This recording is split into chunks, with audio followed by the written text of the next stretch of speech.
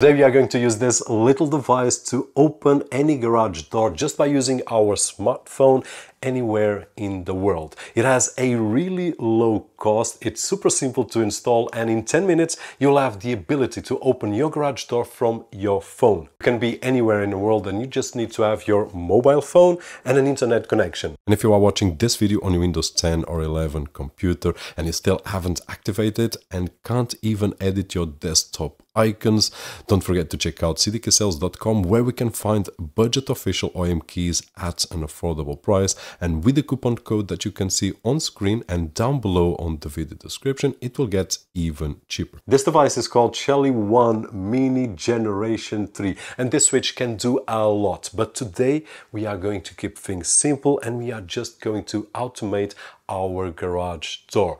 And we can automate any garage door as long as it's yours not your neighbors just yours. So let's go for it. Now we will take the Shelly 1 mini out of the box. There's a manual inside which I do suggest you to read but you won't need for this particular project. We will need only to connect two wires to feed in the live and neutral and two wires to connect to our garage door. Basically, that is it. We will feed in on the L and N from our grid and then I and O to our garage door.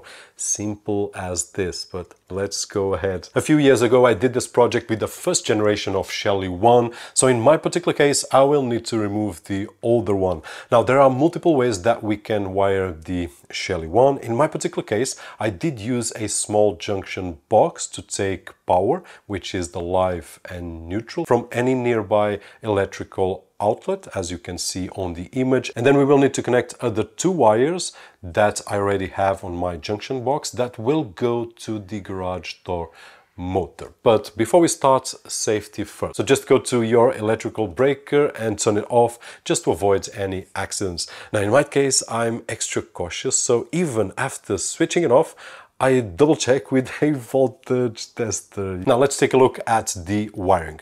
Now, in my case, you can see there that I've got that small junction box near the power source where I did get two wires and I just need to connect those two wires to the Shelly 1 Mini here where it says L for live and N for neutral which is what going to power the Shelly with in my particular case 220 volts.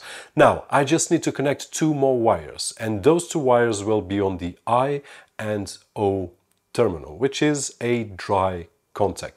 Now these two wires, we just need to put in the screws and screw it well, that is it, and those two wires will make the connection to the garage door.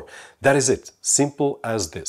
Now each garage door might have a slightly different setup, but if you already have a wall switch for your garage door, then you can connect the Shelly to the same terminals because those are the terminals. In case you don't, you just need to read the garage door manual and you will see which ones you will need to connect. Basically, that is it. Now let's go to the fun part, which is let's turn on the circuit breaker on.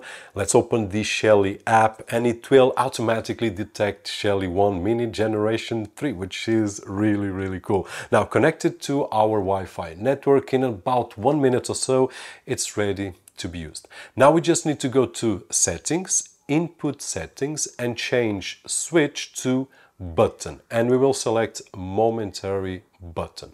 Now let's go to set power on default and let's put it on off so that the door doesn't accidentally open after any power outage.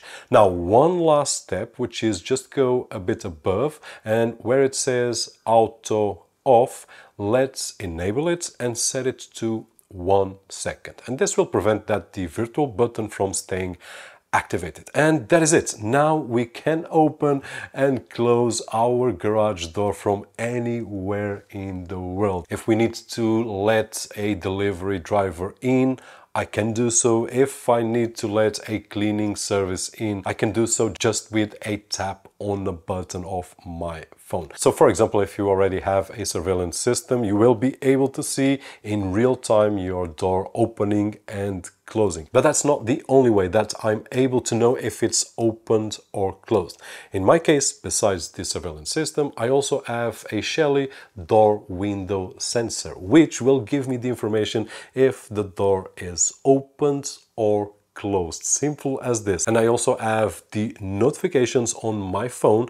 If the door stays open, I will receive an alarm so that I don't forget my garage door open ever. And the worry is not probably about me, but my kids, if they grab a bike and then just go, sometimes they tend to forget things closed or open in this particular case. And I will receive a notification on my phone. I can just close the door, that is it. And this is a project that it's not new to us. We did it about four or five years ago with the Shelly 1 Generation 1. But it makes total sense to update. The Shelly 1 Mini is smaller than the Shelly 1 was. We can use a smaller junction box. We can put inside some motors that we have for the garage door. And for those that didn't follow the channel back then, here's a solution for 2025 to open your garage garage door at a really low cost and with all the advantages that we have just seen in a couple of minutes. That being said, hopefully the video was helpful in some way.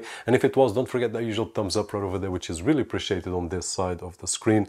My name is Roberto Jorge, and as always, I'll see you on the next one.